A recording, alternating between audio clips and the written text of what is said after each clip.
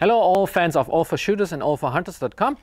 We proudly introduce you today the new Leupold Micro Red Dot. In comparison to the Leupold Point Pro, I shot both red dot sights on group shooting as well as little drills on the plate rack. And I like to give you my opinion and um, my, my point of view in comparison of both sides.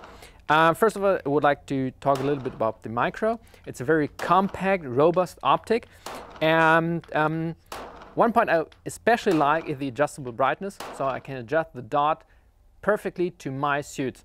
If I shoot indoor, I can dim it. If I shoot outdoor, I would like to game a little bit concerning the dot size just make it a little bit brighter and I've got a bigger dot for fast target acquisition.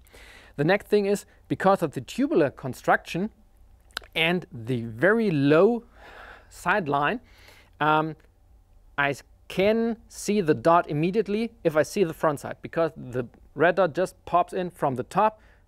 It's right on top of the front side and I've got a very fast first shot.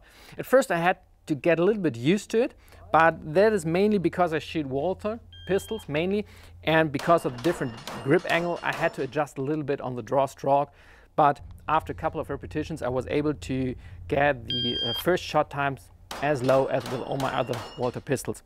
Um, especially from a beginner's point of view, if you're new to red dot sights, often the people have got very difficulties to find the red dot, especially when the lens is totally free, like on the Delta Point Pro. You often see people wiggling with their hands in order to find the red dot.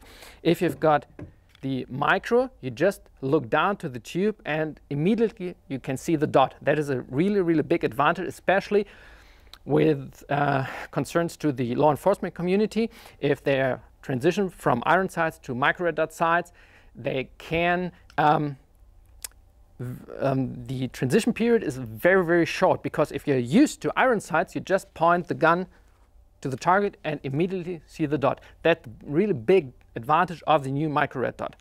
Um, for sport shooting purposes, I think I will stick to the Delta Point Pro because of the larger, uh, larger field of view. I can see more from the target. Personally, I like that more. But if you're concerned for duty carry or everyday carry or you're a hunter, I would definitely tell you the micro is the perfect choice.